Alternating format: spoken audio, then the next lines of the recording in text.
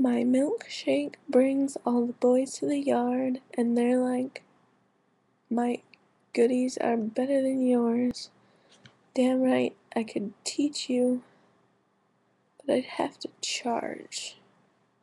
Fuck yes. Fuck